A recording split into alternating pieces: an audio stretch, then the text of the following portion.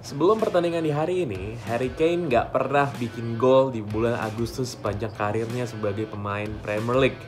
Dan ini menjadi sebuah breakthrough yang luar biasa.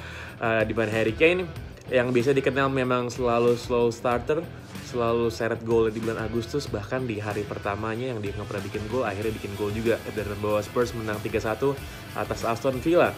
Sebelumnya uh, Villa unggul lebih dahulu melalui John McGinn dari uh, umpan jauh dari back Tyrone Mings ke dep uh, depan dan menunjukkan bagaimana koordinasi lini pertahanannya Spurs juga masih suka you know masih suka asal-asalan di belakang.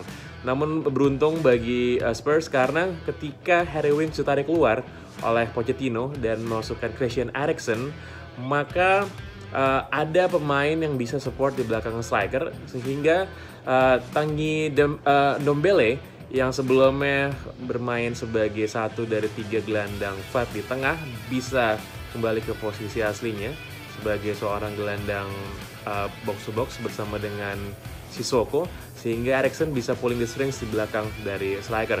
Dan sebenarnya sih kalau kita lihat uh, gol uh, pertama dari Spurs dicetak oleh Ndombele sekaligus juga membuktikan uh, bagaimana Pochettino akhirnya bisa punya gelandang box to box yang uh, brilian dan diharapkan bisa konsisten. Karena sebelumnya setelah Musa Dembele uh, cabut dari Spurs di bulan Januari yang lalu mereka nggak punya lagi sebenarnya box to box yang bisa uh, konsisten.